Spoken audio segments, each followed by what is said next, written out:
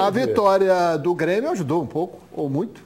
Ajudou, deixou, estacionou ali, né? É, vamos ver um então o gol da frente, vitória, do time do só. Renato, do Renato Gaúcho. Está dando jeito no time, seu Jair? Tá, É, melhorou será? bem. Tá aí, Jailson, sete minutos do segundo tempo, fazendo vitória zero, Grêmio 1, um, lá na Arena Fonte Nova, com quase 20 mil pagantes. É, o Henrique Almeida no primeiro tempo já havia perdido dois gols, né? Agora olha esse cruzamento aí, Fael Jair Bala, do Douglas. O cara sabe bater na bola, né? Bate, é, é canhoto, bate, bate. Diferenciado, Então né? gostou dessa vitória do Grêmio. Gostei, claro, né? Olha, tudo que favorece o Cruzeiro eu gosto.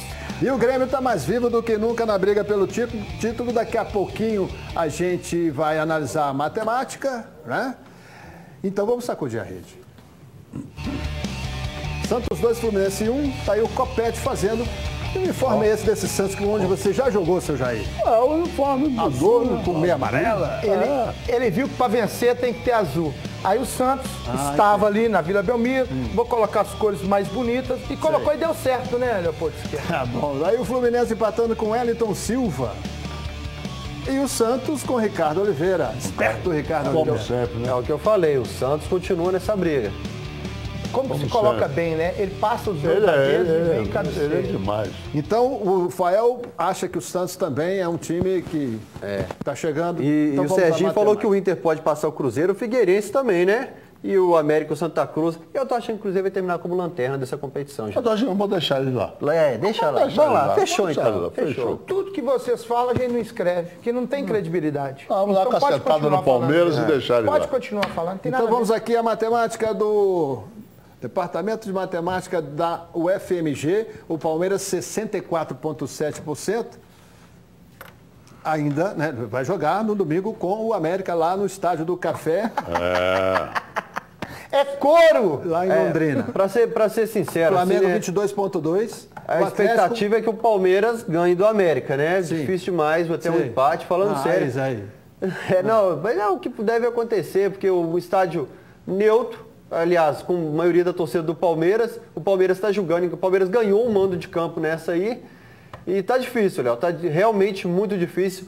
O Atlético tem que ganhar todas daqui para frente, não pode É. pensar em empate mais não. Começou vendo, né? essa rodada com 11,4, então deu essa queda aí, 7,6, o empate com o Corinthians, que a gente vai ver os melhores momentos e lances polêmicos daqui a pouco, foi muito ruim. E o Santos vê crescer a sua perspectiva aí de conquista do título de 2,8% para 5,2%. E depois da rodada, o Palmeiras vai a 8.4 e o Atlético vai cair para 6.1.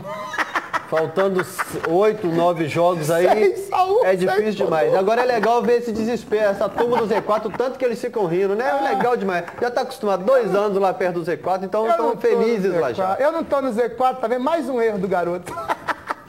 Você não está no Z4? Tá na porta, vai Você entrar está na hoje. portinha. Vai Tá entrar na hoje. portinha do céu, menino. Ou do inferno.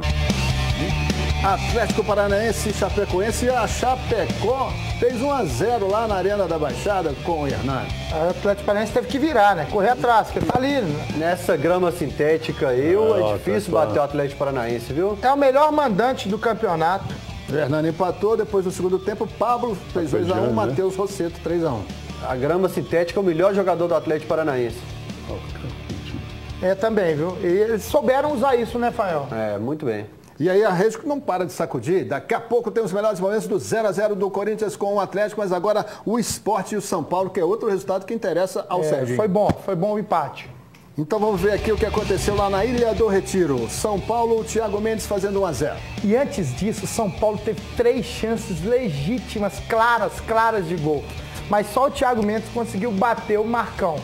Aí depois o esporte, esporte liberou e o Diego Souza foi fazer um golaço. rapaz. Golaço, é. Um golaço mesmo, viu? Aí o cruzamento da direita, o que, que ele fez ali, seu Jair? Ele tentou Golaço, matar a bola. vamos repetir isso aí. A que bola subiu um pouco, né, Subiu Fael ele, Jair? É, ele, ele dominou essa bola. Porque é o seguinte, a gente tem na bancada o mestre Ah. Jair Bala, que é o, o cara que jogou só com o Pelé no Santos, tá, Fael? Então na hora que você for zoar o seu Jair, Se a você gente tem que fizer pensar a lista de lembrar. craques que ele jogou ao lado do Jair, o Jair era um desses craques, a gente vai ficar o programa inteiro. falando. Exatamente. Então, Jair Bala, Não vamos colocar o gol no ponto aqui para só explicar, porque o Jair Bala, sabe por que eu estou falando isso? Espera aí, calma.